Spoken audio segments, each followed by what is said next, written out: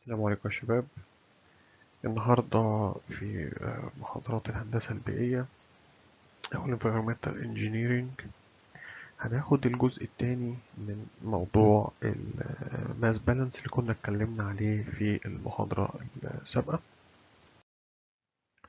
وكمراجعة بسيطة على المحاضرة السابقة السابقة آه كنا قلنا إن عندنا في نوعين من ال pollution يا اما conservative pollutants أو non conservative pollutants. إيه ال conservative pollutants أو الملوثات المحافظة اللي هي ما بتتأثرش مع الزمن. يعني إيه؟ يعني ما بيحصلهاش أي decay أو react أو change with time or place. يعني أما آجي أضيف ال pollutant دوت على أي بيئة أو أي control volume عندي ما بيتغير. بيفضل ال concentration بتاعه ثابت لأنه ما بيحصلوش decay عكس الكلام دوت بالظبط اللي هو ال non conservative pollutants يبقى أكيد دي بيحصل لها إيه؟ decay و reaction with time or place وكمان ممكن يحصل لها accumulation. فكنا قلنا إن الموضوع ال mass balance دوت كنا بنختصره في ال equation ديت أو ال general form بتاعتها. إن أنا عندي أي input rate بيساوي ال output rate زائد decay rate زائد accumulation rate. آه قلنا عندنا ثلاث حالات أو ثلاثة cases هندرسهم في الموضوع دوت. آه وكنا عرفنا حتة ال steady وال unsteady اللي هو التغير مع الوقت. ده في حالة ال unsteady flow وال steady اللي هو اللي أنا بشوف بعد ما اتغير بعد فترة زمنية طويلة شوية بشوف ال concentration حصل. له إيه يبقى أنا هنا أنا بدرس التغير مع الوقت. لكن في ال case التانية في ال pollutant بدرس هل هو conservative ولا non conservative طيب فكان التلاتة cases اللي عندنا إن أنا بدرس ال steady state مع ال conservative pollutant يعني بحط conservative pollutant اللي هو ملوث محافظ. وبشوف ال steady state بتاعه. يعني بعد فترة طويلة من الزمن بشوف ال concentration إيه اللي حصل فيه. طيب الحالة التانية إن أنا بشوف لو ضفت non conservative pollutant اللي هي بيتغير مع الوقت. بس أنا مش عايز أدرس تغيره مع الوقت. أنا عايز أشوف في ال steady state يعني بعد فترة طويلة من الزمن إيه ال concentration اللي هيطلع منه آخر حالة اللي هندرسها النهاردة باستفاضة اللي هو لو أنا حطيت ال non conservative pollutant اللي هو ال pollutant أو الملوث اللي بيتغير مع الوقت وكمان عايز أدرس ال unsteady أنا عايز أدرس بقى المرة دي تغيره مع الوقت. عايز أشوف مع ال times المختلفة ال concentration بتاعي في ال control volume عمال بيتغير إزاي. طيب ده كان ال case الأولاني وكنا قلنا ال form بتاعتها إن أنا بدل ما كانت ال input هتساوي ال output زائد ال decay rate زائد ال accumulation قلنا في حالة ال steady state وال conservative pollutant أنا بشطب على ال decay وبشطب على ال accumulation فبيتبقى لي بس form ة بسيطة اللي هو ال input rate بتساوي ال output rate وساعتها كنت بقول إن أنا أي Q ك input يعني أي Q مضروبة في ال C بتاعتها هتساوي ال Q اللي خارجة في ال C الجديدة. فكان على سبيل المثال هنا كان عندي stream يعني مجرى مائي و flow تاني جايب لي waste كل واحد ليه ال Q وال Cs بتاعتهم وال sorry وال concentration بتاعها فكنت بضربهم في بعض وبقول إن اللي خارج هو عبارة عن ال Q mixture في ال C mixture وكان معظم المسائل كانت دايما بتسألني على ال C اللي خارجة اللي خارجة من ال volume بتاعي نتيجة اختلاط ال two streams دولت. تمام؟ فده كان أول حالة عندنا اللي هو steady state و conservative pollutants طيب وكنا خدنا مثال وطبقنا على الكلام دوت. هنا كان عندنا stream بتاعي وكان مديني البيانات بتاعته ال Q وال C وهنا كان عندي stream تاني جايب waste طبعا هتلاقي ال concentration أعلى و ليها Q. وكنا بنقول إن ال Q اللي خارجة هنا كان عايز يعرف في حالة ال steady وفي حالة إن هو قال لي إن ال concentration جاي لي دوت أو ال pollution جاي لي ده conservative فكان عايز ال CM أو الكونسنتريشن بتاع الميكشر والكيو بتاعت الميكشر وقلنا دايما ال Q بتاعت ال mixture عبارة عن إيه؟ عبارة عن Q دي زائد Q دي بطبق ال continuity العادي. وبطبق قانون ال mass balance عشان أجيب ال CM خدنا برضو كان مثال تاني لو أنا عندي lake وداخل لي برضو Q هين كل واحدة ليها C وهنا كان المثال بس مختلف شوية ان أنا كان عندي قيمة evaporation. وقلنا من المحفوظات إن أي concentration بتاع قيمة evaporation ودي تعتبر من الحاجات ال out يعني. أنا بعتبرها إن أنا عندي ال concentration بتاعها ب zero. هنا برضو كان عايز ال C اللي خارجة وال Q اللي خارجة. طيب الحالة التانية ان أنا عايز أدرس آه لو حطيت non conservative pollutant يعني آه ملوث آه غير محافظ يعني بيتغير مع الوقت. بس أنا كنت عايز أدرس الحالة الايه الحالة ال steady state بتاعته. بس حتى قلنا القانون بتاعنا بيبقى input rate بتساوي ال output rate بس هنا هيظهر حتة ال decay rate طيب ال decay rate ده كان بيساوي إيه؟ بيساوي ال K في ال V في ال C تمام؟ ال K ده بنسميه reaction rate وكان دوت الوحدة بتاعته دايما إيه؟ time minus 1 يعني day minus 1 minute minus 1 أي حاجة. وطبعا ده ال C اللي خارجة وده ال control volume بتاعي وهيتبقى برضه ال input rate ده رقم حاجة ثابتة. كل Q داخلة في ال C بتاعتها وال output اللي هو برضه ال Q اللي خارجة وال C بتاعتها. آه كنا خدنا المثال دوت كان عندي stream مديني ال Q وال C بتاعتها وكان بيقول لك إن أنا عندي ماسورة صرف ليها ال Q وال C وكان مديني البيانات بتاعة ال lake أو ال control volume بتاعي إن أنا ال volume كان بكذا وال decay rate أو ال K يعني بتاعتي بكذا أنتوا شايفين هنا 0.2 per day وكان طالب الحاجات الخارجة يعني عايز ال Q mixture وال C mixture فبرضه كان تعويض مباشر. دولت كده هو دي كانت مراجعة بسيطة على الحالتين اللي إيه درسناهم قبل كده. الحلاوة بقى أو جمال يعني ال mass balance في الجزء الايه التالت. إيه بقى الحالة التالتة. الحالة التالتة لو أنا عايز أضيف non conservative pollutant يعني pollutant بيتغير مع الوقت. وكمان أنا مش عايز أدرس بقى ال steady state بس لا ده عايز أدرس ال unsteady state يعني من ساعة ما دخلت ال pollutant بيتغير إزاي ال concentration مع الوقت.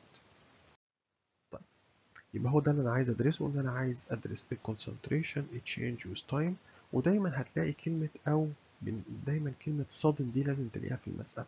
sudden change يعني تغير مفاجئ. أه الحاجات اللي أنا عايز بس أعرفها إن هنا بس يمكن ال incoming بتاعي ساعات بيسميه S اللي هي يعني ال Q in في ال C in بتاعتي. ساعات بيسميها ال S يعني. وخارج برضو ال QC وهنا بقى هيحصل إيه؟ كان في ال في ال steady كان بيبقى عندي decay بس لكن في ال unsteady بيظهر حتة ال accumulation معايا.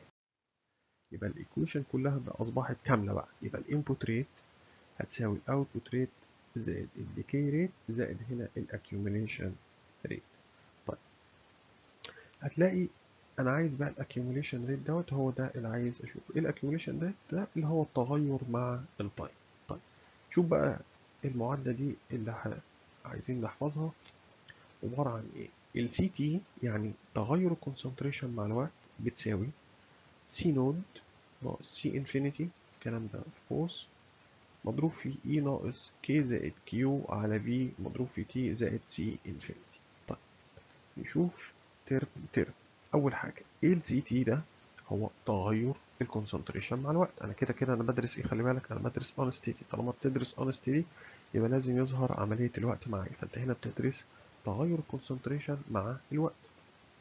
طيب ال C node ده إيه؟ ده ال initial concentration يعني أنا أول ما ضفت الملوث بتاعي كان ال concentration كام أصلا؟ ده سي نود طيب السي انفينيتي آه السي انفينيتي دي أنا ممكن أبقى عارفها شوية. ليه بقى؟ ال C infinity دي يعني مع الوقت اللي هو ما لا نهاية ال concentration هيوصل لإيه؟ وادالك القانون بتاعها. القانون ده هتلاقي إن أنت عارفه وهثبته لك إن أنت حاجة عارفها قبل كده. قال لك إيه؟ ال C infinity دي بتساوي S على ال Q زائد ال K في ال V هنشوفها دلوقتي إن القانون ده أنت عارفه مش محتاج تحفظه. اللي محتاج تحفظه هو بس القانون ده. طيب طبعا ال e ده ال exponential عادي. مرفوع اس كي ده الديكي ريت الكيو دي الكيو اوت على الفي في التايم اللي أنت عايز تشوفه. مش أنت هنا قلنا هندرس التغير ال concentration مع ال time فأنت هنا لازم يظهر علامة ال time زائد ال C infinity طيب. لو جينا شفناها بال graph هتلاقي إن هو أنا عندك كان هنا ال C naught بتاعتي. ابتدى يطلع مثلا على المثال دوت ال concentration عمال إيه؟ عمال يزيد مع ال time بيوصل لمرحلة هيمشي بقى خلاص خط ثابت. إمتى الخط الثابت ده؟ لما توصل إن ال C t دي أصبحت إيه بتساوي ال C infinity جميل جدا. يعني أنا هيفضل يحصل فيه تغير مع ال time ال concentration بتاعي هيفضل يتغير مع ال time لغاية فترة ما يوصل لغاية ما وقت معين وهيوصل C infinity طيب كنت قلت لكم أنا ال C infinity دوت اللي هو بتساوي S على Q زائد ال K في ال V ده حاجة أنتوا عارفينها. ارجع لي خطوة لورا. لو أنا عايز أدرس steady هو يعني إيه يعني إيه C infinity يعني خلاص وصلت لمرحلة ال steady إن ال concentration ما بيتغيرش مع ال non-conservative صح؟ كان إيه القانون؟ كان القانون بتاعي إن أنا عندي ال input rate Q in C in بتساوي ال Q out C out زائد ال K في ال V ال C out صح ولا غلط؟ طيب. في حالة ال steady يعني هو إيه؟ هو ال C دوت ال C اللي هتخرج بعد إيه؟ بعد فترة طويلة من الزمن. اللي هي بقى اسمها هنا إيه؟ C infinity طيب خلينا نشوف. يبقى أنا عندي Q in C in بتساوي لو خدت ال C out دي common factor عامل مشترك يبقى عبارة عن إيه؟ Q out زائد ال K في ال V حد عنده لغاية هنا؟ ال Q in في ال C in هو هنا مسميها S أصلا. عادي يعني هو خد بس عشان عايز يختصر يعني ال variables فسمى إن ال Q in في ال C in عبارة عن ال S يبقى شوف لي كده ال C out هنا تساوي إيه؟ هتساوي S على ال Q out زائد مين؟ زائد ال K في ال V هتلاقي إن القانون ده اللي أنت أصلا خلاص أنت واخده قبل كده أنت بس مجرد حطيت لي ال C out في حتة اللي هي سماها دلوقتي C infinity بقت إيه؟ بقت هو القانون اللي كان كاتبه لنا طيب يبقى إيه الجديد عندنا؟ الجديد عندنا؟ إن أحفظ بس القانون بتاع تغير ال C مع ال time طيب. معلش كده حاجة بس بسيطة قبل ما نروح للي جاي بعده. أنت خدت بالك هنا تغير ال C مع ال time هو عامله هنا إيه؟ عامله بيزيد لغاية درجة معينة وبعد كده يقف. طب هو أنا دايما أما أجي أحط concentration لازم ال concentration بتاعي هيزيد مع ال time طب هسألك سؤال تاني. ما ينفعش. لو أنا بجد برضو علاقة بين ال concentration وال time يبقى شكله عامل كده؟ هيقول هنا إن أنا عايز أوصل برضو هنا لل C infinity بتاعتي ويبتدي ب C naught إمتى يحصل الكلام ده؟ لو أنا كنت حاطط ملوث فكر معايا. لو أنا كنت حاطط ملوث ووصل آه خلاص بقى عندي steady state ورحت شايل فجأة الملوث دوت. يبقى ساعتها إيه اللي هيحصل؟ اللي هيحصل إن أنا بيحصل لي decay أو بيحصل إن أنا عندي الملوث بتاعي يقل. يبقى هو نفس القانون بالظبط مع اختلاف إيه؟ إن أنا بيتناقص معايا ال concentration مع الوقت. يبقى كان ساعتها ال C naught دي كانت أعلى حاجة وال C infinity دي أقل حاجة. يبقى إذا القانون ده أقدر أطبقه في حالة لو ال concentration بيزيد مع ال time أو حتى ال concentration بيقل برضه مع ال time طيب خلينا نبص على مسألة. هي المسائل من النوعيه دي دايما فكرتها بسيطة وأنت على طول بتعرف أنت هتطبق أنهي قانون. لو قال لك أنا في steady conservative يبقى خلاص قانونها سهل. لو قال لك steady non-conservative هتلاقي كلمة ال K بتاعتك. خلاص يبقى انت أكيد عرفت إن ده non-conservative اللي هو ال reaction rate أو ال decay rate بس بيقول لك ادرسها لي في حالة ال steady غير كده ال unsteady دايما هتلاقي كلمة إيه هتلاقي كلمة sudden decrease أو increase whatever أي حاجة. طيب هنا بيقول لك a sudden decrease in pollutant discharge into the lake. Consider 10 مليون متر. مكعب يعني حصل تغير مفاجئ في ال pollutant discharge إن هو في ال lake بتاعي البحيرة بتاعتي اللي كان ال volume بتاعها كده 10 مليون متر مكعب الكونسنتريشن كان كام؟ كان تلاتة ونص الموجود يعني the leak was found uh, have a pollution concentration of تلاتة ونص ملي جرام per liter the pollution is non-conservative شكرا قالها لي صراحة with a reaction rate الكي بتاعي اداها suppose the condition of uh, the lake is deemed unacceptable and to solve the problem it is decided to complete divert يعني لقى ان ال ال ال condition أو حالة ال lake بقت خلاص غير محتملة وكان في هذه الحالة divert يعني عايز يحول مسار ال sewage outfall around the lake يعني هو كان عنده ماسورة صرف بيرميها على ال lake خلاص لقى إن حالة ال lake أصبحت غير مقبولة فهيضطر إن هو يغير مسار ال sewage outfall دوت أو ماسورة الصرف ديت. عشان كده حصل إيه؟ تغير مفاجئ. Eliminating it as a source of pollutant يعني خلاص مش هيبقى فيه أي pollution بيتحط. يقول لك the incoming stream still has flow كذا. يبقى أنا ما زال عندي ال stream اللي واصل أو النهر بتاعي أو الترعة بتاعتي اللي واصلة للل lake ومديها ال Q بتاعتها. وال concentration بتاعها كان بهذا الرقم. Assuming complete mixing condition find the concentration of pollution in the lake one week شوف هنا طالما قال لك إيه إدالك time يبقى على طول عرفت إن أنت في إيه في unsteady one week after the diversion and find the new uh, steady state. طيب نشوف نفكر في المسألة دي إزاي. أول حاجة هو قال لك إن ال lake كان ال concentration بتاعها كام؟ تلاتة ونص. يبقى ده ال C note بتاعي. ال volume كان مديهولك.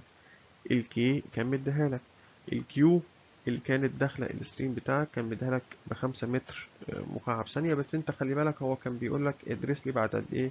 بعد سبعة دقايق صح؟ فيبقى انت عارف على طول ان انت هتخلي ال time بتاعك بالأيام. عشان كده هو بس حول الخمسة متر مكعب ثانية ضربها في 3600 في 24 يبقى أنا حولتها كده كام؟ ب 43.2 في 10 أس 4 متر مكعب per إيه per day هو كان عايز يحول بس من الثانية لل day فده طبعا الرقم هيكبر عشان كده ضربت في 24 في 60 في 60 طيب ال ال S بتاعتي اللي هي يعني ال input بتاعي قال لك هو عبارة عن ال Q S في ال C S كان ال Q خلاص أنا حسبتها بالمتر مكعب per day وكان مديلك ال concentration بتاعها عرفت أضربهم في بعض وطلعت الرقم بتاعي 43.2 في 10 أس 8 مللي جرام per لتر. جميل. طيب. آه هنا بنوحد ال units مفيش فيها مشكلة.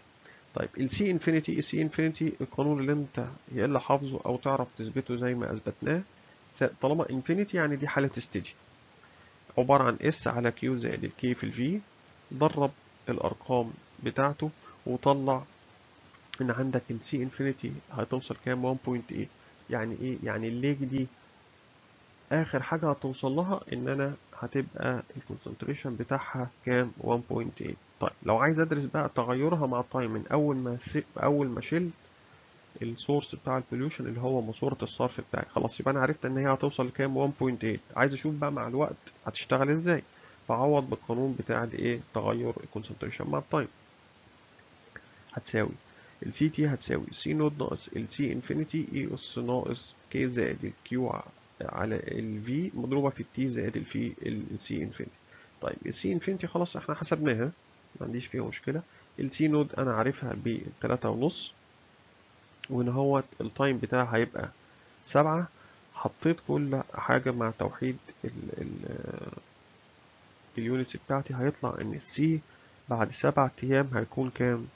2.1 مللي جرام per لتر لو انت عايز ترسم العلاقة ما بين ال concentration وال time يعني مجرد انك انت بتعوض في نفس اللي هي ال C T ديت بس بتعوض ال T بقى مرة إيه بواحد باتنين بتلاتة باربعة طبعا days لغاية ما يوصل لحالة ال steady. هتشوف هنا اديك انت عملت ال T غيرتها مع مجرد أرقام حطيتها ورا بعض وجبت كل مرة ال C T بتاعتك. القانون هو هو أنا عندي ال C note ثابتة بالتلاتة ونص وال C infinity برقم ثابت اللي هو 1.8 مجرد بس طبعا ال Q اللي هي اللي خارجة رقم ثابت ال K ثابتة ال V ثابتة كله ثابت. إيه الحاجة الوحيدة اللي بتتغير؟ الحاجة الوحيدة اللي بتتغير هو بس ال T فراح رسم العلاقة بتاعتك وهتلاقي إن هي وصلت لهذا الشكل. لو مشيت هنا معاك كذا كذا طبعا دي إيه بعد السبع أيام اللي هو الرقم اللي إحنا مطلعينه 2.1 طيب 8 أيام 10 أيام 14 يوم مشي مشي مشي مشي مشي لغاية بص عند كام؟ هتلاقي من أول ال 26 فيما تحت تقريبا الرقم إيه؟ أصبح واحد عندك. يبقى معنى كده إن هو ده كان الايه الرقم ال ال C infinity بتاعتي أو الرقم اللي هو الثابت بتاعي تمام؟ يبقى دي عملية إيه؟ إن أنا شلت concentration فعشان كده ال concentration بتاعك عمال يقل.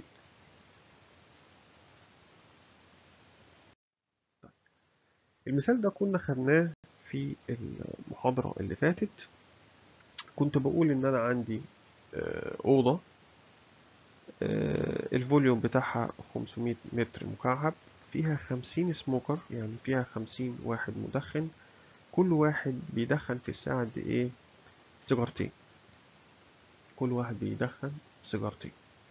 السيجارة الواحدة بتطلع ال 1.4 مللي جرام من ال concentration اللي هو ال formaldehyde وال K بتاعته بكذا 0.4 per hour ال fresh air اللي داخل ده بألف متر مكعب في الساعة وهو هو نفس اللي خارج بس طبعا هتلاقي ال C بقى أصبحت مختلفة إنه طبعا اختلط بالدخان بتاع السجاير ال concentration بتاع السجاير.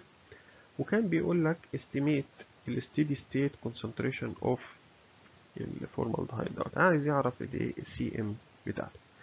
فهنا هو دي كانت طبعا واضحة قوي إن هي كانت steady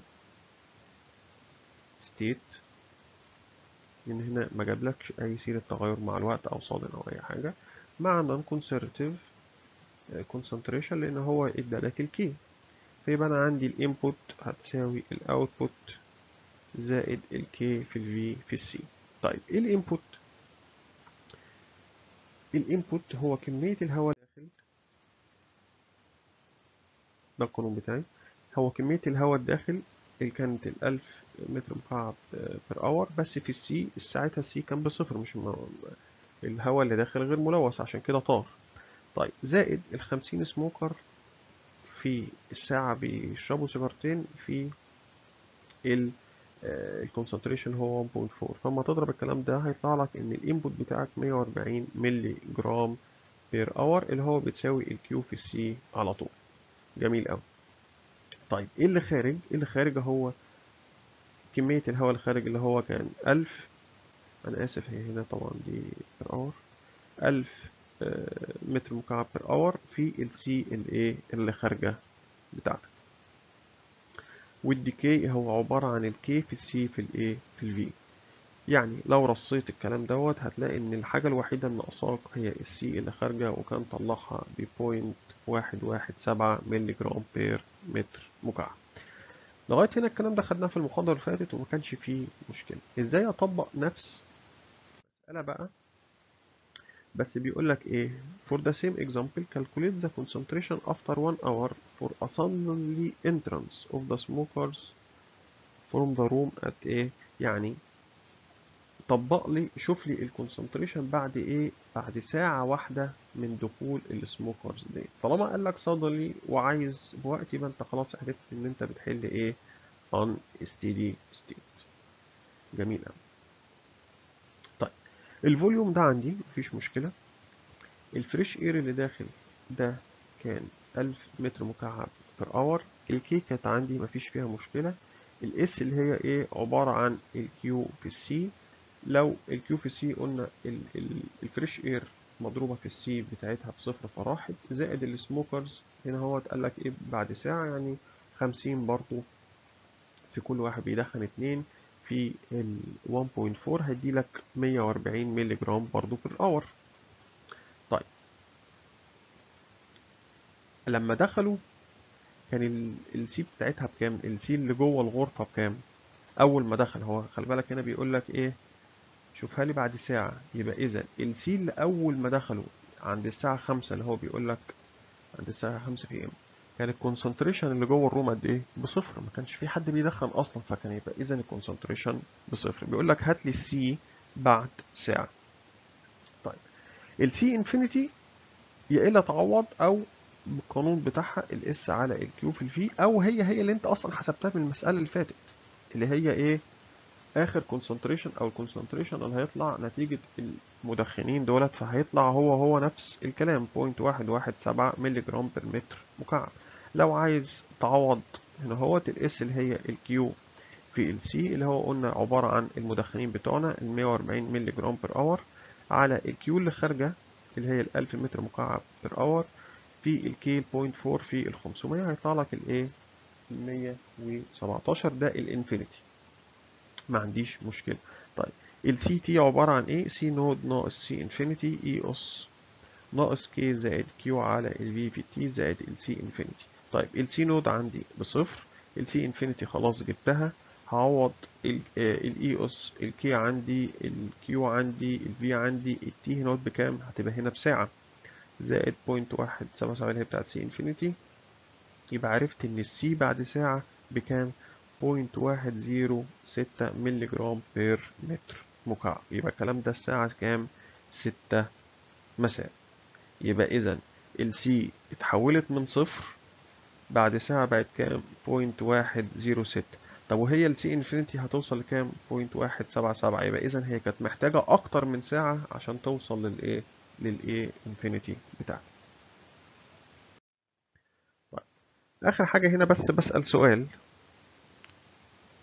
بقول لك for the same for the same example نفس المسألة دي calculate the concentration after نص ساعة of the suddenly leaving of the smokers from the room after reaching the steady state. يعني شوف لي بقى ال concentration بعد ما الناس دي مشيت بعد ما وصل ال concentration اللي جوه إيه steady state.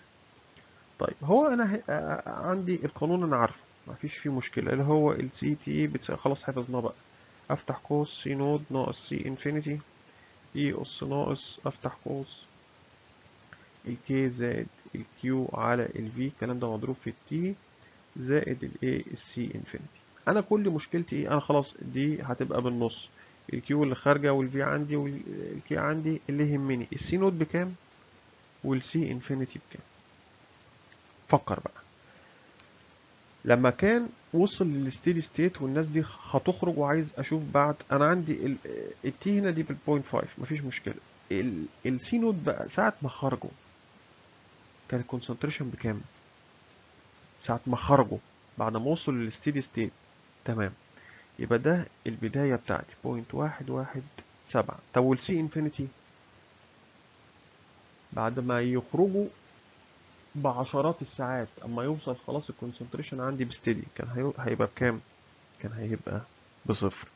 حتى لو أنت عايز تحلها من غير ما تفكر هو ال C infinity أصلا كانت بتساوي إيه؟ الاس الكيو زائد الكي في الفي صح؟ ال S كانت إيه؟ عبارة عن ال Q في ال C اللي جوه. إيه اللي جوه؟ أنا عندي ال fresh air مضروبة في ال C بصفر وال smokers أصلا مش موجودين فهيبقى ده إيه برضه بصفر. يبقى اذا كان عندي ال C infinity لازم تبقى بصفر وال C node هنا هتبقى بال point واحد واحد سبعة. أقدر أعوض وأجيب ال CT بعد نص ساعة من إيه؟ رحيل الإيه؟ المدخنين. آه ماشي يا شباب. أتمنى تكون المسائل واضحة وال mass balance وضح لكم بالثلاث حالات المختلفة.